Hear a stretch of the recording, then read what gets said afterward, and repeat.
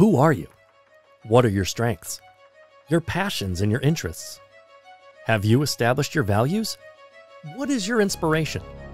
If you were asked, would you be able to build a success story around your identity?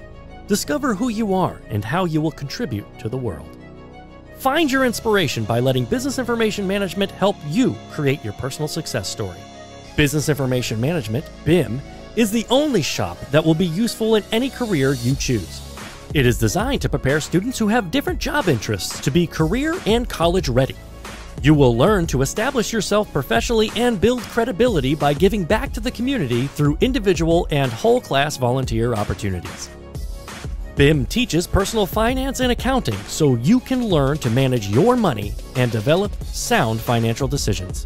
You will get hands on experience by applying technical skills to multiple business applications and become proficient in Microsoft Office, which is useful for resume building, college, and job opportunities.